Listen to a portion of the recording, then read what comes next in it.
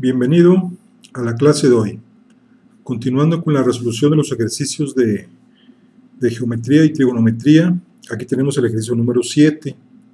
Dice, en el triángulo equilátero se forman dos triángulos rectángulos. Si la altura mide 18 centímetros, ¿cuánto mide la hipotenusa de los triángulos rectángulos? Bueno, entonces aquí tenemos, cuando me dicen un triángulo equilátero, significa que este, el triángulo, los tres lados son iguales. Entonces dice que al tener aquí la altura de 18 centímetros se forman dos triángulos rectángulos. Entonces vamos a poner aquí uno acá, miren, vamos a poner uno aquí, que este, este sería así, así y así. ¿Sí?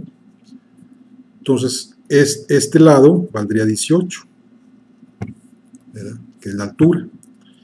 Y nos pide encontrar la hipotenusa.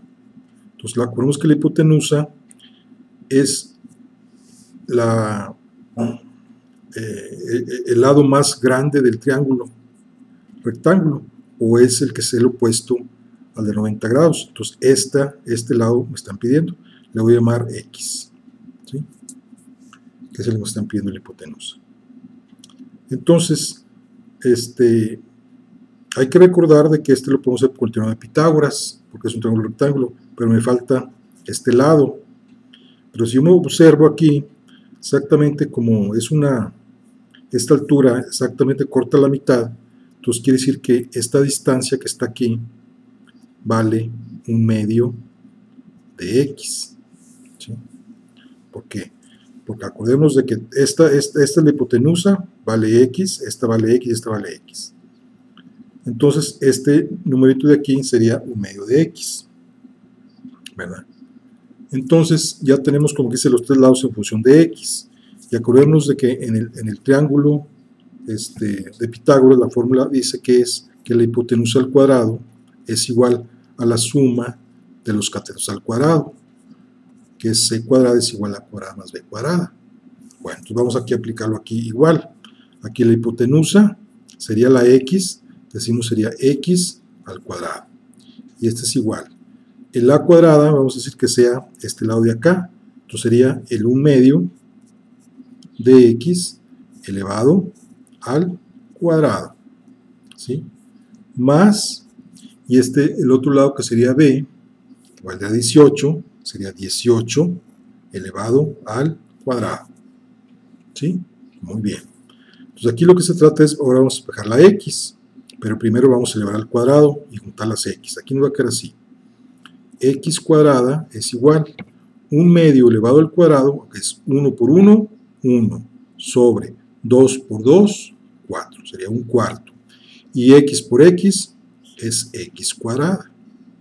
Más, y 18 elevado al cuadrado, con la computadora nos dice que son, perdón, con la calculadora sería que son 324. Acuérdense que 18 al cuadrado es 18 por 18. Muy bien. Ahora, estas x cuadradas las vamos a juntar en el primer miembro. Y va a quedar así.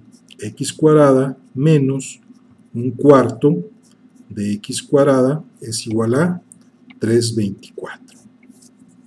Muy bien, entonces aquí es, a x cuadrada vamos a restar un cuarto y vamos, pero un cuarto es 0.25, vamos a decir, dividimos 1 entre 4, nos va casi x cuadrada menos 0.25, que es dividir 1 entre 4, de x cuadrada es igual a 324. Muy bien.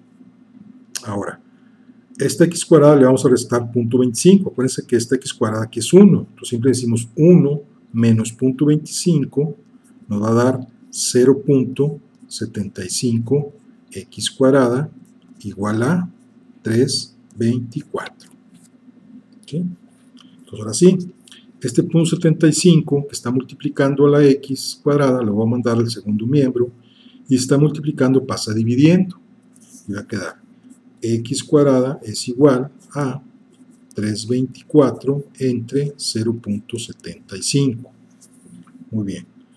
Al hacer la división con la calculadora, 324 entre 0.75, decimos que x cuadrada es igual a 432. Ok, muy bien. Ahora, vamos a fijar la x, porque la x es nuestra hipotenusa, lo que andamos buscando.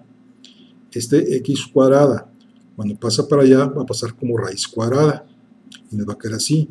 x es igual a la raíz cuadrada de 432.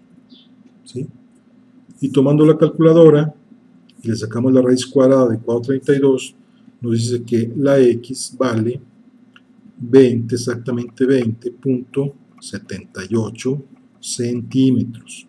Y ese sería el valor de la hipotenusa de la x. ¿sí? Haciéndole, sacando el triangulito este, sabemos que el Pitágoras nos dice que es la hipotenusa al cuadrado, igual a la suma de los cuadrados de los catetos. Vamos estudiando aquí el valor de la x y despejando la x nos da que es 20.78 centímetros. ¿Sí? Bueno, muy bien. Pasemos al siguiente ejercicio. Por lo pronto, sigamos adelante y no se vaya.